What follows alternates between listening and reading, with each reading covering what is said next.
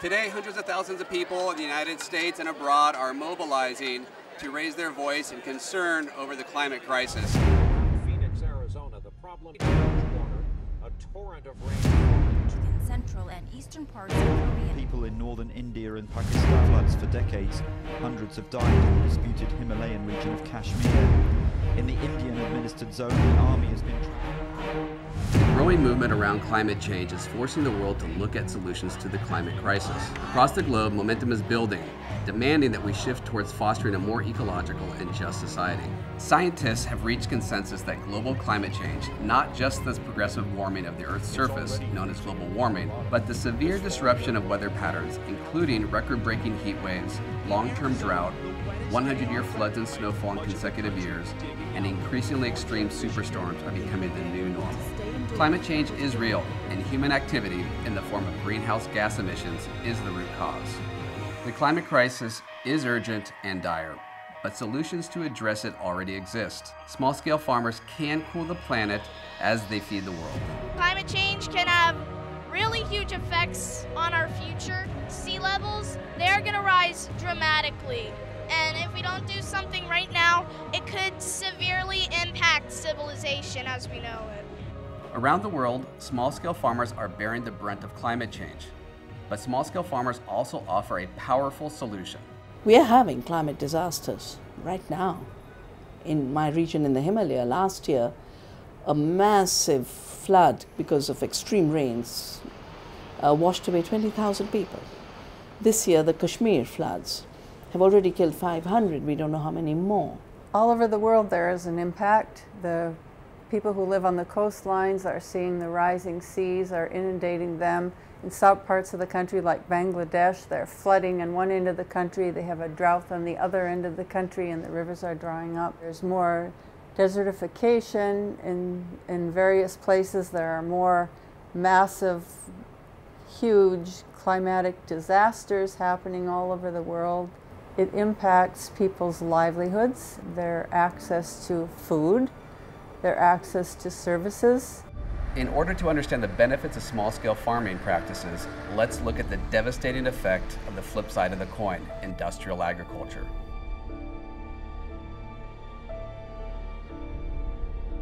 Direct agricultural activities are responsible for 11% to 15% of greenhouse gas emissions. We've been made to believe that without fossil fuels and external inputs and nitrogen fertilizers and big mechanization and long distance trade in food, there is no way to feed the world.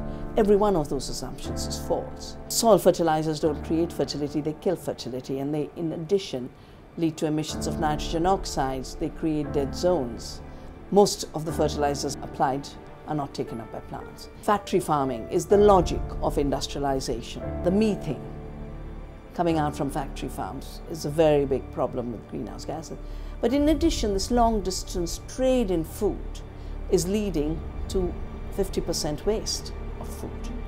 Farm related land clearing and deforestation are responsible for 15 to 18% of greenhouse gas emissions. Food processing, packing, and transportation are responsible for 15 to 20% of greenhouse gas emissions. Decomposition of food waste is responsible for 3 to 4% of greenhouse gas emissions. Local systems, fair systems, ecological systems can undo so much of the damage that this 40% can only get worse as industrial agriculture expands through the myth that industrial farming feeds the world and now the latest of industrial farming as GMOs feeds the world. Nothing is further from the truth. We're seeing super weeds. We're seeing infestations of pests in, in, in numbers and magnitudes that have never occurred before. Small farming practices grow 80% of the food consumed in the non industrialized world. Small farmers, at their best, use practices like agroecology and regenerative organic agriculture. Organic farming is the most effective way to both reduce emissions by stopping the carbon dioxide, the nitrogen oxide, and methane, but also absorbing more and adapting better with resilience. We grow more food in the process, our farmers have higher incomes in the process, and as a byproduct, we also solve the biggest problem of our times climate disasters. 900 million small farmers are growing the vast majority of food for humans on only a quarter of the land. Small scale regenerative organic farming uses widely available and inexpensive methods. If we switched all agricultural practices to follow this model, greenhouse gas emissions that propel climate change could be significantly reduced and we could sequester 100% of current carbon dioxide emissions. But to do it, we need to stand with small scale farmers. Small farmers, for the most part, really are reservoirs for biodiversity. Organic farming and ranching and land use can not only address the global climate crisis, but actually reverse it. If we use the traditional methods of rotational grazing and no-till or conservation tillage organic, you know, if we stop the deforestation and plant more trees, we can literally bring back 100 parts per million of the excess carbon that's in the atmosphere and put it back where it used to be, which is in the soil. Regenerative organic agriculture. Let's use all three of those words together and what really does that mean? They're building the soil so that it is a better place for carbon to be absorbed into. You're leaving behind a better place than you found. It is not just something to hold the plants upright. Our farm this year is better than last year every year. They understand the cycle of nature far more than industrial monocultures. Healthy soil, healthy food, healthy people. It's not real technical and it's not about a magic bullet. It's probably about something like fifth grade science class. It's so simple. What we found is Mother Nature has provided us with the answer, with the technology, for lack of a better word. And it's really simple. It's green plants and photosynthesis.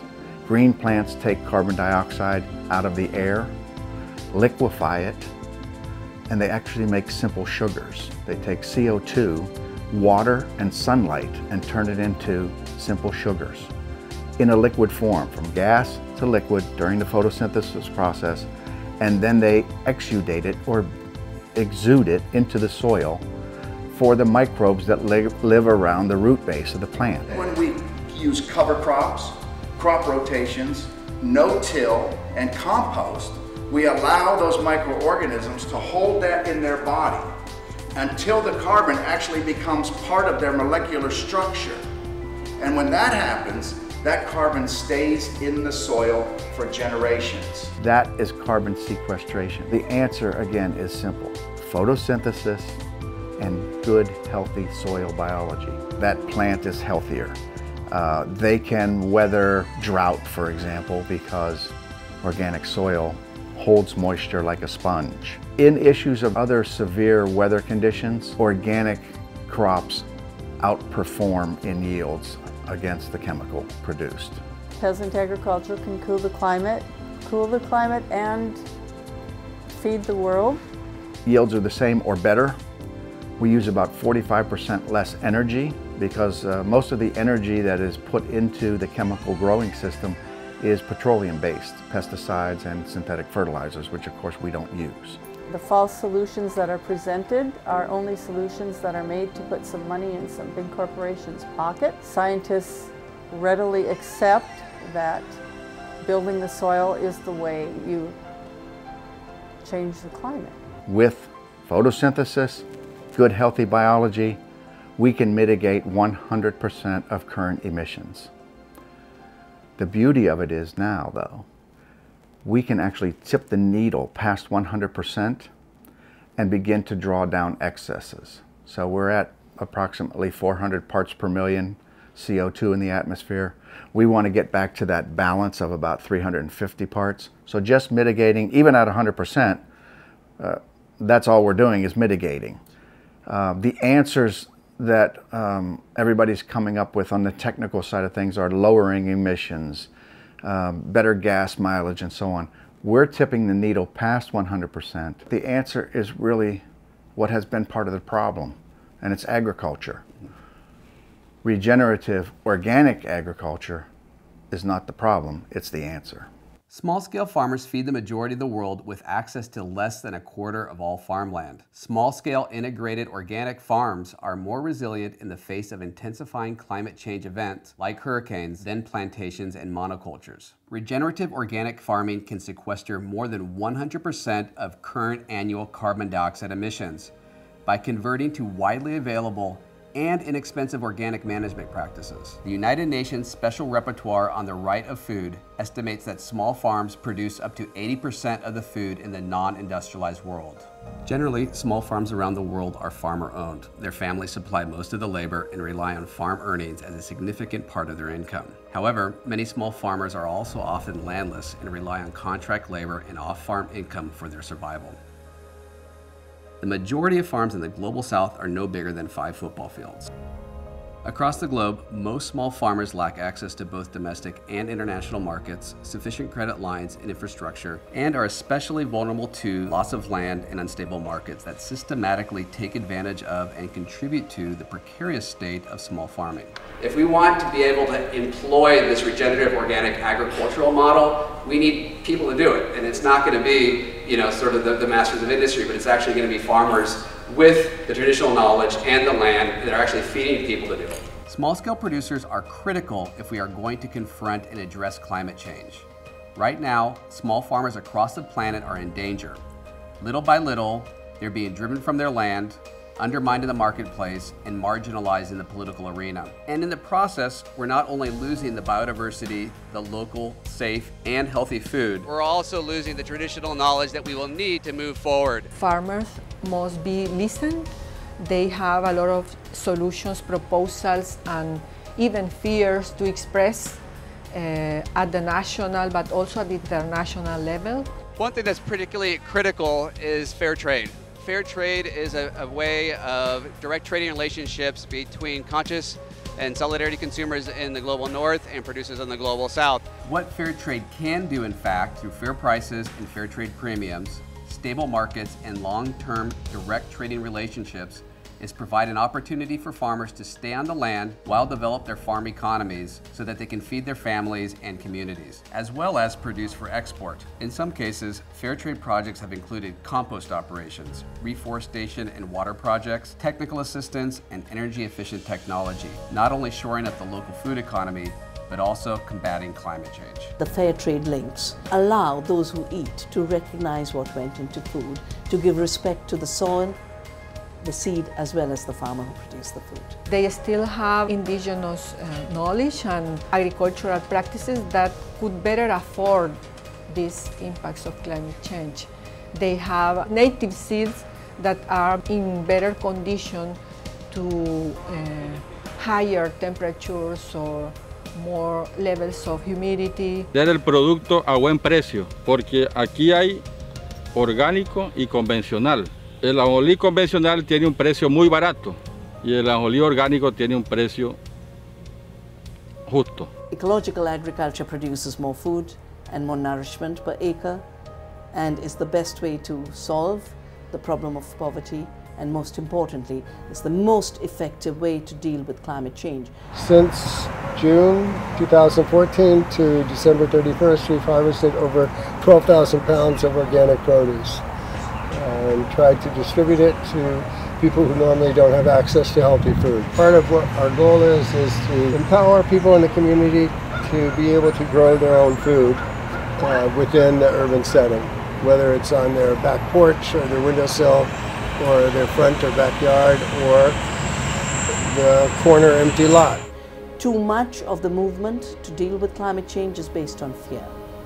It now needs to move to cultivating hope. And that's why one big part of Navdanya is cultivating gardens of hope. And a garden could be a pot in your balcony. The garden doesn't have to be a giant 100,000 square mile industrial farm. It's about life. Get more interested in organic food, in local production. Our ultimate goal is healthy people. Good, healthy, vibrant soil makes good, healthy, vibrant food.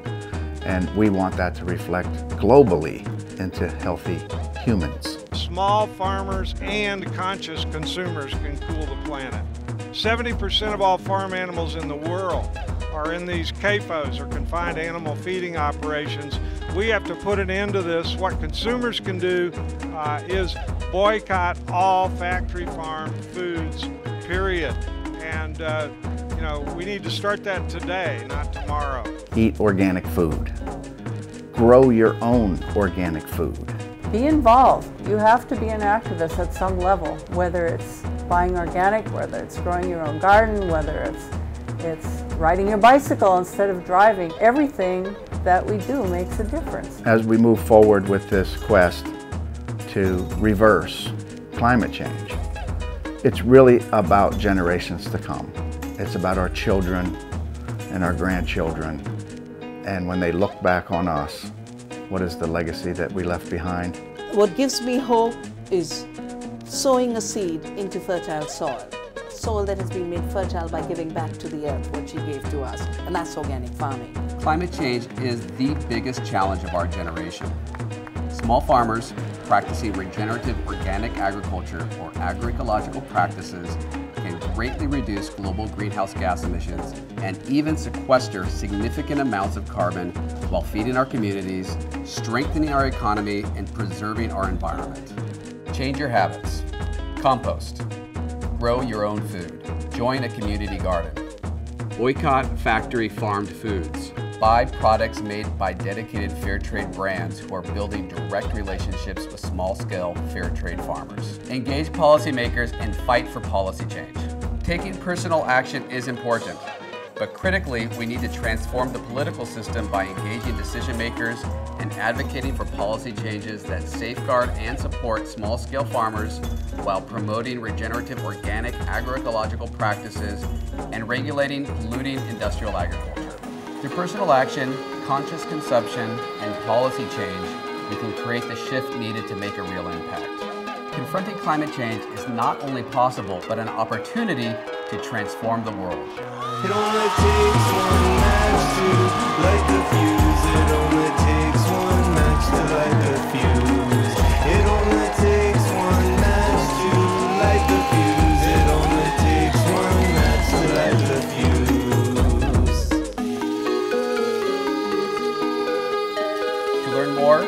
Take action, and get involved, visit fairworldproject.org.